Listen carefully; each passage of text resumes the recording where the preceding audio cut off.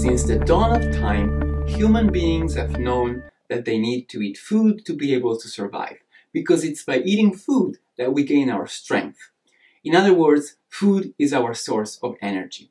Just like a car needs gas, we need to eat food to fuel our body. But energy is not enough. In the first years of the 19th century, French scientist François Magendie observed that when he fed a group of dogs only sugar or only oil, they would all die within a month. Sugar and oil both provided energy, but they did not provide the stuff that we need to build and maintain the structures in our body, proteins. Proteins are our only source of nitrogen, and without them, life is not possible. At the beginning of the 20th century, most scientists believed that eating was just a matter of getting two things enough proteins to build and maintain our body, and enough energy to fuel it from carbohydrates and fats.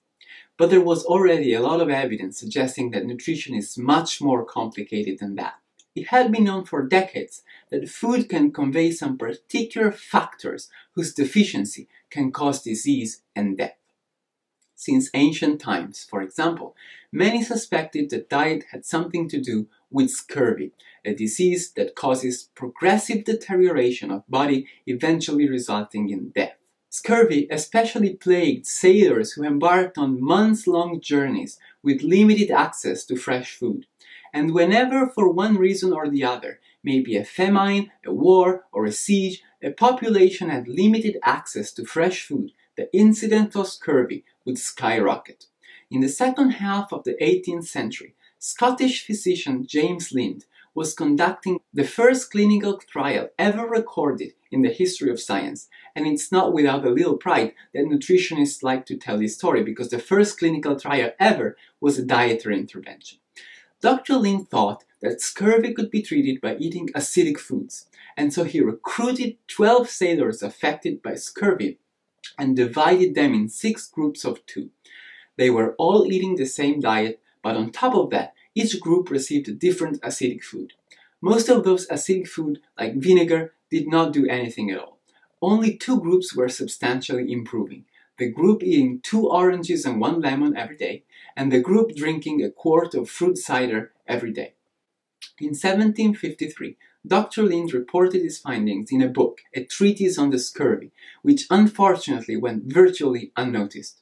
A few years later, British explorer James Cook and his crew set sails for a very long journey over three years.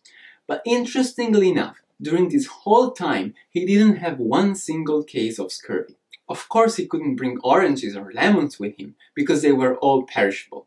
What saved him and his crew was consumption of a rather unusual food, sauerkraut, fermented cabbage, that contrary to fresh fruit and vegetables can be easily preserved in big wooden barrels where its fermentation takes place. It was clear at that point that there had to be something in oranges, lemon, cider, and sauerkraut that is able to prevent and cure scurvy.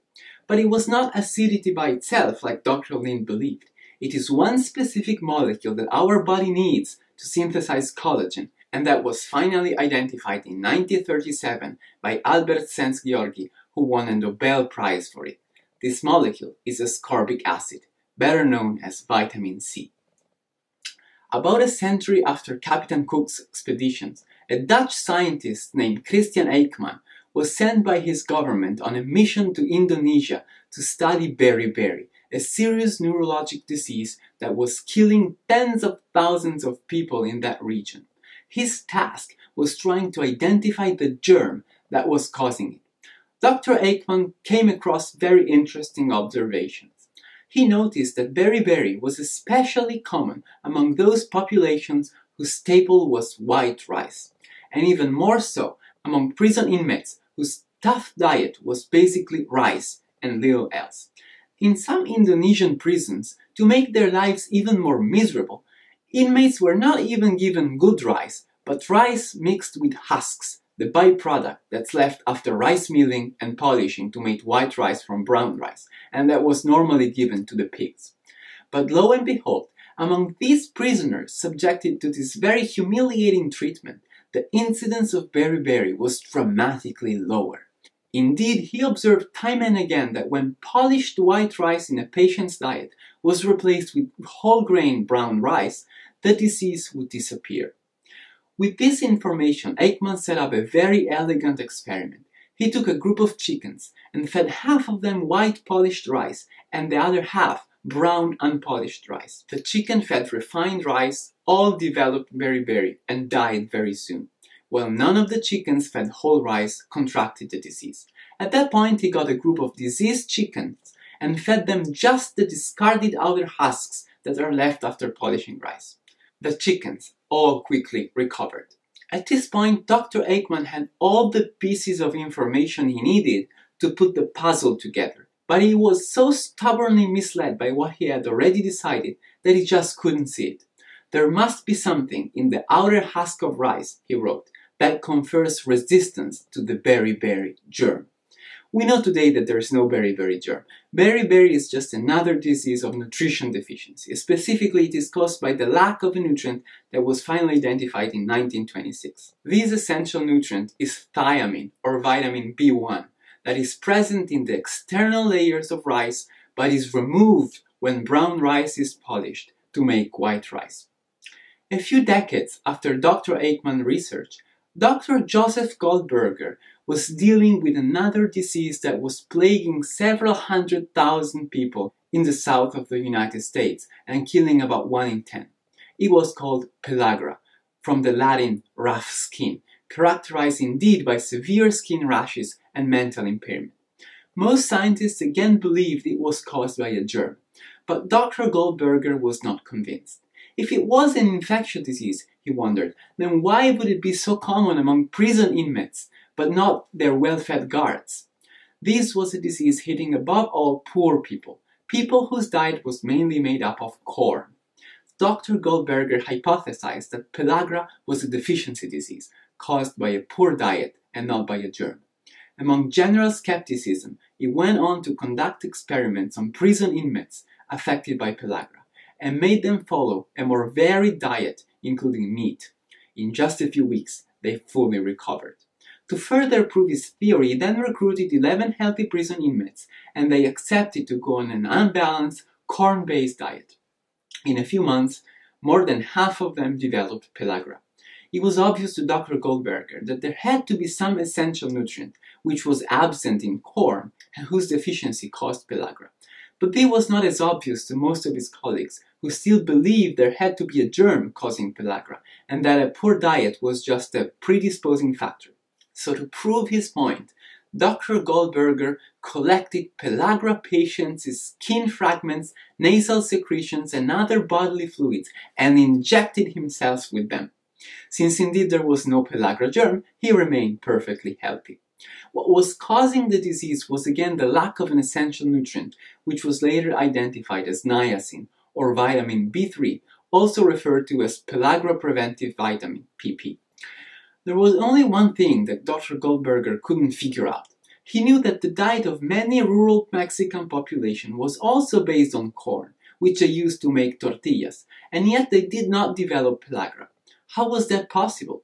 The trick is there actually is niacin in corn, but it is bound to proteins in a form that is not available for absorption into our body.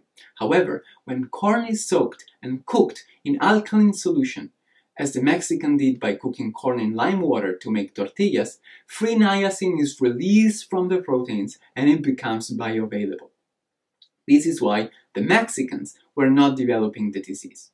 You're probably wondering if the corn you eat undergoes such treatment, and the answer is yes. The canned yellow corn kernels that you find on the shelves of your grocery store have been pre-cooked in alkaline water to make niacin bioavailable. We could go on and on telling little stories like these for rickets and vitamin D, iodine and goiter, iron and anemia, and so on for about 40 essential elements. We will tell some of these stories later in this course when we study the vitamins and minerals, but for now I think I have made the point to help us understand the first goal of nutrition. We need to eat to prevent deficiencies not only deficiencies of energy and proteins, but also deficiencies of many other essential nutrients that we need in much smaller amounts, but that are absolutely necessary to sustain life. and without which we face disease and death. The major risks related to an unbalanced diet today are much different than what they were in the past. In our rich post-industrialized countries, we don't die of protein energy malnutrition, scurvy, beriberi, or pellagra anymore. But this is not to say that we shouldn't worry about nutrient deficiencies, even without getting to the point of overt clinical deficiencies that result in disease. Suboptimal intake of many nutrients are still extremely common, even in our rich countries, and they result in suboptimal health.